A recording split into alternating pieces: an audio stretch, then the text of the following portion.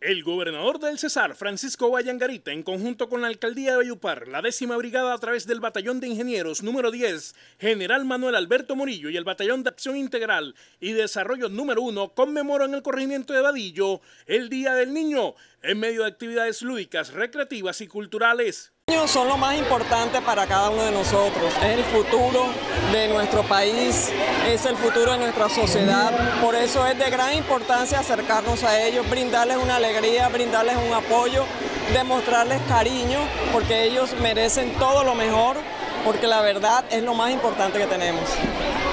Entendemos que los niños tienen más futuro que pasado, es por eso que unidas seguimos trabajando por la niñez del municipio de Bayupar y del departamento del Cesar y aquí estamos felices de poder compartir con los niños de la institución Antonio Enrique Díaz Martínez. Acompañado por la primera dama del Cesar, Egna María Vigna, y de Valledupar, Lisbeth Rosado Ahumada, el mandatario lideró junto al Ejército Nacional la jornada que consistió en una ruta del desarrollo educativo dirigido a los menores en los que se entregaron kits escolares, orales, cartillas, cuadernos, al tiempo en que se realizaron actividades lúdico-recreativas. Pues sí, claro, estuvo súper chévere. Pues porque trajeron muchas cosas gracias al, al, gobernador, al alcalde.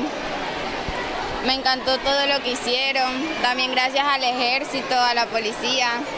Estuvo súper chévere todo. Gracias por todo lo que nos trajo y lo que nos hizo.